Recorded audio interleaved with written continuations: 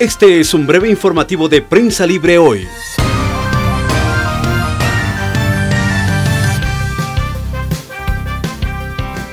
Buenos días, este es un avance informativo de Prensa Libre TV de hoy martes 26 de abril de 2016. Cinco hombres fueron asesinados anoche en el kilómetro 229 de la ruta del Atlántico, Aldrea Gran Cañón, Morales y Zabal. Aparentemente los hombres fueron masacrados dentro de un expendio de licor por sujetos que huyeron en una camioneta agrícola. De forma preliminar se conoce que una de las víctimas era cuñado de Walter Octulio Mendoza Mata, aprendido el 6 de abril último, sindicado de liderar una estructura criminal dedicada al despojo de tierras.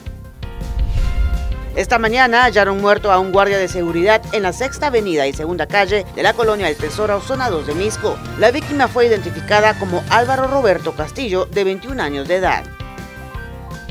En el ámbito internacional, Nicolás Nájera Salgado, presunto integrante del cartel Guerrero Unidos, de quien se sospecha que está vinculado a la desaparición de los 43 estudiantes de Ayotzinapa en el 2014, fue capturado en la localidad de Coajumulco, en el municipio de Huitzilac, estado central de Morelos.